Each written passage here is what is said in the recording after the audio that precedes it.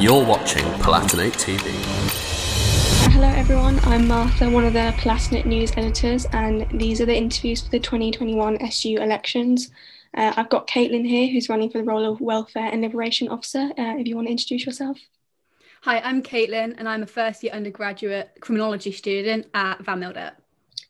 Um, so, my first question for you is uh, why did you decide to run for this role this year? Yeah, so I really enjoy getting feedback from people. So I've had kind of um, experience for the first half of the year that I've been here with uh, being a department rep and being a household rep uh, and being part of the talk and support team in college. So I just wanted to kind of expand on that because I can see some quite blatant issues that I really want to address um, within the SU and within univer- the university as a whole. So yeah, it was just sort of the noticing of problems that I faced and problems that people have come to me with through college um, that I wanted to bring to a higher SU level. Um, so you mentioned some blatant issues in the SU that you'd like to and the uni that you'd like to address. So can you just go into more detail about those? Yeah, so I think the main thing is just like toxic cultures. So um, I, I, kind of define that as um, I define it as toxic cultures as something where people or a specific group of people or individual people feel uncomfortable being in a in a specific area just because of who they are or um, how where they're from or or anything like that. So uh, whether that be to do with sexuality or um, ethnic group or um, background or anything like that. So i've kind of found that there's some problems with um, racism, not obviously not towards me as a white woman, but I've seen it happen in front of me too often for it to be really ignored. I've only been here for a couple months and I've seen that as kind of a big issue. Um, and also misogyny, which seems to be a bigger problem than I thought it was um, coming into the uni. And I just haven't seen uh, many resources or know where I would go to talk about those issues. Um, and so I think that's something I kind of want to go into the SU and fix uh, or start to fix um, and make it more accessible to talk about those issues and sort of flag it up to the uni or college. Um, so, how do you think being welfare and liberation officer in the SU will allow you to help address those issues more so than like being in another society? Yeah, so I think because the SU oversees like um well it it, it kind of represents all students not just if you're in in your college you're representing the students within your college. I think it's a uni-wide issue that needs addressing at a uni level. Um, so it's all well and good kind of fixing it in one college but then there's issues going on in other colleges that aren't being fixed sort of thing. Um, so i think the main thing is kind of communicating with as many people as possible and and getting these resources to as many people as possible. And then um, my main idea was to my main proposal was to uh, form some sort of discussion groups and stuff like that to kind of um, bring everybody together across the uni. Um, and of course it's good that we've got our kind of college base where you create kind of like a family. Um, but I think there needs to be more connection between the colleges and and more help between the colleges. Um, so, what relevant experience do you have for the role? Yeah, so um, I've, as I say, I was in. I'm in the talk and support team, uh, pastoral team for Van Mildert.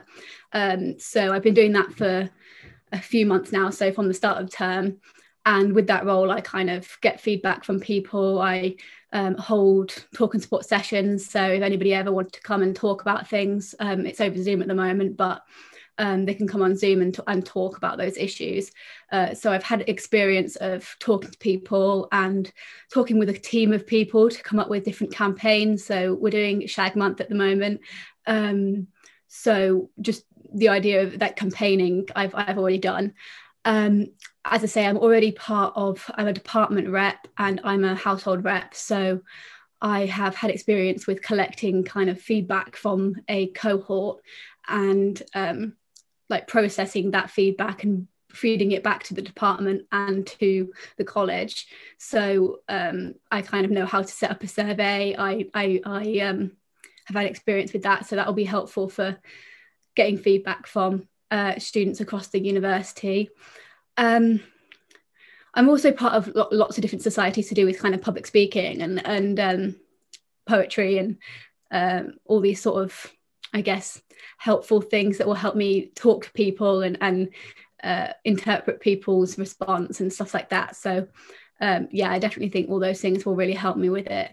Um, and, and one of my campaigns is to talk about mental health. So I've got a mental health blog that I've done for quite a while now, um, which I'm hoping as part of if I do get elected to kind of extend to people who want to just discuss uh, mental health issues and make it more normal.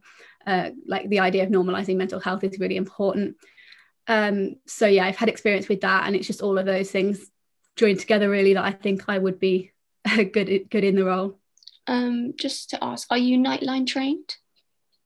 Um, no, I'm not currently, but I can look at doing it in the future when I'm sort of, um, when I'm sort of, if I'm elected.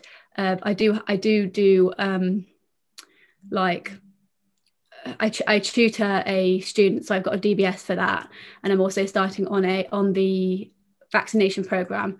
So I am getting involved with kind of first aid and all that sort of thing. But um, how far that kind of helps with the role, I'm not sure. But maybe just sort of like, um, I guess, getting involved with things um, is what I've enjoyed doing for the past couple months. Um, what would you do differently to your predecessor, Ewan Swift? Um, I think I would just kind of make communication between the SU and students more clear because at the moment it feels very much like the SU is detached from the student body. It sort of feels like the the, the SU is is this separate organization that nobody really thinks about. Um, and there's a select few that follow the Facebook and follow the Instagram or whatever. Um, so finding a way to integrate those campaigns and, and make everybody aware of them and make the SU kind of an approachable or the welfare uh, part of the SU an approachable um, body of people as as kind of people who are in the interest uh, working to work in the interest of students. Um, how I do that is just um, going through colleges and having resources and also having the welfare team have meetings with different welfare teams from colleges to create that discussion. Um, the idea was to start having kind of welfare meetings ev- twice every term or so, just to get feedback from the colleges and everybody can discuss and um, give feedback to each other. Because I was speaking to um, I can't remember which specific college it was, but there was some colleges saying that they would really like communication between the different college welfare teams. So that's something I would um, do differently and, and think that is very important. Um, so you've kind of already touched on this, but what are the main things you'd like to do to support student mental health and also to support college welfare throughout next year, especially if we're still in lockdown? Um, yeah, so I just think making resources much clearer. So um, making them more accessible, making them available to people who don't want to read a big, you know, um, passage of text because you, you, go through your university life reading loads of reading loads of pa- uh, like papers or or texts or whatever, depending on what you do as a as a degree. Um, so I think a lot of people are a bit reluctant to read a big long email with all the support on it and then don't know where the support is because they haven't read the email and that's not their fault. That's just that they're, they're, they're so busy with everything else. Um, so making those campaigns more accessible, um, whether that be in video form, so somebody actually speaking makes it a lot more um, as if somebody's actually behind the camera rather than just a big big load of text um, and as I say, creating those discussion groups so that people feel included and feel like their feedback is really valued. Um, and also, kind of once that feedback has been interpreted and, and talked about within discussions, relaying that information back to the students because I feel like when feedback is given, often it's kind of it, it, nothing goes back to the students. The students don't know whether that feedback has been listened to or, or talked about. So making it clear that that information has been talked about and here is what we're going to do moving forward. And here is what we'd like you to do to help us with that sort of thing. Just keeping communication um, more alive, especially now that there's no in-person stuff. So um, Do you think that the university and the colleges as well are doing enough to support student mental health through the pandemic? It's kind of a difficult one because I think that the college I'm at, so Van Mildert, is there's so much support available, but it's just knowing where to get that support. So I think um, I know that it's available and I don't know how it is in other colleges, obviously, because I'm only part of one. so I can't speak for other colleges. But from what I've seen as part of talk and support is I know it's available. It's just a lot of people don't know where to go and don't have a specific point of contact or don't feel they can talk to the college about um, reporting things or if they have any issues or anything like that. So they kind of keep it to themselves and then the union college don't know what's going on. So I think um, one of my main things I was looking at about how feasible it would be is to um, appoint somebody per college to be kind of like the face of support. So if you want to go to somebody, they are who you would go to and who you would email.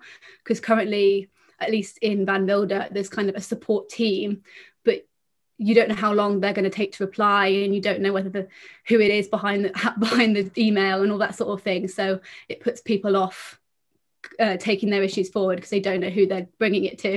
Um, and I think there's there's a kind of fear over like confidentiality and all that. And of course, they are going to they will keep things confidential, but it's kind of like the human mind is going to doubt that that thing. So making it more personal, making people more able to go and talk to somebody and just having kind of a face to that support. Um, so, what specific concrete changes would you like to see the university make during your time as welfare officer? Yes, yeah, so I think the main changes is the policy on um, like what's acceptable within the uni? Because obviously as in as in uh, bullying and all that sort of thing harassment uh, prejudice obviously the university has a big stance on you know no tolerance of those sorts of things but at the same time it's not clear that you know um, jokes that make people uncomfortable for example aren't acceptable or victim blaming or all those sort of things that are quite similar in in um, in their meaning. So people take it think that it's a joke or say that it's a joke but it's not a joke it's not funny. It's making somebody feel uncomfortable but they can use that excuse that it wasn't intended for that. So I think making it more clear that that's not acceptable either because you are making somebody uncomfortable and then implementing courses to teach those people why that's not acceptable. So I think what happens often is people are told, oh, it's not acceptable and they don't know why it's not acceptable. And so then they continue doing it and then it happens again. And then they're like, but I, I didn't know I did anything wrong. So if we can create things like how the freshers now had to do the consent matters course and doing more of those to teach people rather than just putting them to the sidelines and, and ignoring them. Um, because of course a lot of these people only say the, these things because they are ignorant to um, to how they should be acting or what they should be saying. So i guess it's just education and more and more resources about that. Um, so that's the i think that's the main thing because that would slowly start to um, not one normalize talking about issues and two denormalize being toxic. Um, of course it's a very slow process and i don't think anybody could fix it sort of like overnight but it's it's it's something to build on. Um, so how would you ensure that minority students from various backgrounds aren't marginalised various spaces in Durham? Yeah, so I think as I say, education is the main the main thing. So a lot of students that I've come across kind of feel that they are the typical Durham student. So they feel that oh, I'm from a private school. Oh, I'm white. I'm, you know, um, from an advantaged background. Like I, I, and and they're probably from the south. Um, usually, sorry. Um, and there's nothing wrong with being from that area they shouldn't have to feel like it's wrong being from that area either but it's kind of the education around how presenting yourself as kind of the typical student makes other students who aren't that criteria feel like they shouldn't be at Durham or they don't belong in Durham or they're not welcome in Durham, which obviously isn't true because we have lots of different students from different places who all, all go to Durham. Um, and all are the kind of typical Durham student, but just don't feel like it. So making people more aware of how they present themselves can affect people. Because um, as I say, it kind of links with what I've said about how I don't think people recognize that their actions have such an impact on people. Um, and that just comes with using more resources, having more discussions, having more um, sort of face to face, whether that be on Zoom or in person, when obviously COVID um, kind of calms down. Um, a kind of making it more personal, connecting the student with with that support and with that um, ability to talk about things. Um, so I know Ewan has done a, quite a bit of work on like working with private accommodation providers to forgive rent for students who can't return to Durham. And, and they've SU has also historically worked with the Ripped Off campaign. So do you plan on supporting the aims of the Ripped Off campaign? Yes, so I think it's a very important thing because um, a lot of students feel they are not in the position to pay that at the moment. Obviously, with the jobs, um, the jobs market being very low, so I can't get a job if I even if I wanted to. Um, and a lot of students are in that position. Um, and also, when a lot of students are sort of debating as to whether to go back to accommodation or not, I know that we've been told, oh, you don't have to pay for accommodation you're in. But that's obviously not the case for students who are in private a private accommodation. And it's it's it's almost like the government are telling them not to go back but at the same time they're then paying for something they're not allowed back into. So it, it's it's a very unfair position to put people in. Um, and i think I, I will do everything i can to kind of work with people to to to help students in that sense because now we've been through this whole pandemic it's it's a it's a hard time of course.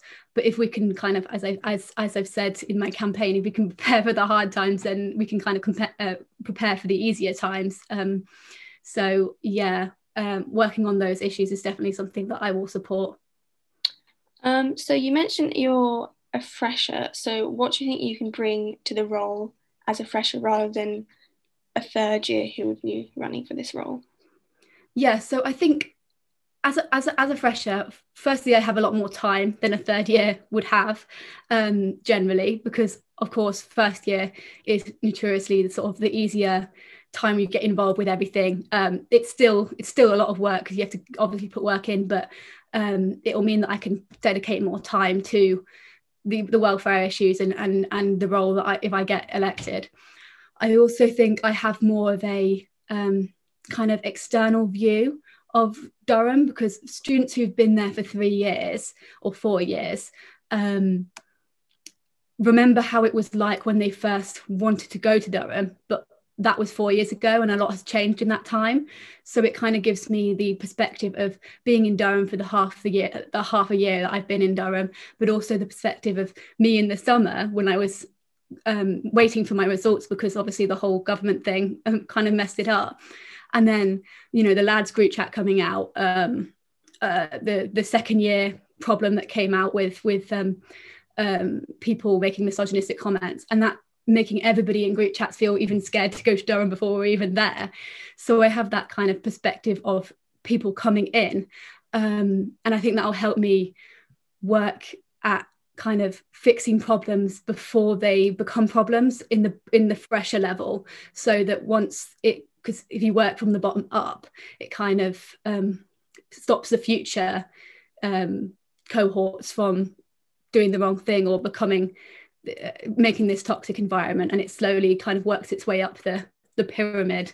Um, but yeah, I think that's mainly uh, the, the inner and outer perspective will will help me more than it would help somebody who's in um, second, third, fourth year. Um, so I don't know how much you know about last year's SU elections, but from what you do know, do you think that you not having been here last year is going to be helpful for dealing with the controversy that has surrounded last year's and still surrounds the SU today? Yeah, so I think, I mean, I've heard about that because I have a couple um, friends who are in the year above. Um, I think student voice is extremely important so that's and it, and in my campaign that's been one of the main three things that I've kind of looked at as a overriding kind of issue. I think that student feedback and student voice is, is the most important thing because without it, then we don't know what students really want. Because um, I can want one thing and the rest of the student population can want a different thing. So I think really I just want to kind of work on having more feedback from students and having students actually say what they want to the SU rather than the SU do things on behalf of the students that they think the students want. Um, because often it that can make them feel very detached from the students and the students feel like oh they're not really listening to us they're just doing what they think we want. Um, so yeah having as i've said having discussions discussion sessions might help that. Having regular feedback forms um, although i know a lot of people um, don't really like filling out loads of surveys but having them available if people want have specific feedback to give um, having having zoom discussions having in-person discussions when we are able to do that um, and just making it clear that the SU are there to help the students rather than to help themselves. Um, so just making students feel valued, really, their voice valued. Um, and lastly, why should people vote for you? Um, people should vote for me because I'm just I I've cared about these issues as cliche as it is for a long time. Um, you can see that kind of through my work with talking support with Van Mildert and the mental health blog that I, I have, which is is um, sort of a discussion board to to post poetry, music, um, writing, art, any of that onto um, to kind of try and normalize mental health. So I've I've I've been working trying to work on these issues before. I would just really like to make them more accessible to people because as a single student in a single college, it's quite difficult to do that when you're sort of in the sea of students and you don't know how to get that out to people if I was to be elected, I'd be able to make that more accessible and make people's voices heard more than I could do on my own. Um, and I just think that I will work for the students' best interest. It will be um, the students' voices, not just mine. It will be sort of everybody's voices collectively. Uh, so that's all the questions I have for you. Thank you for talking to me today. Thank you.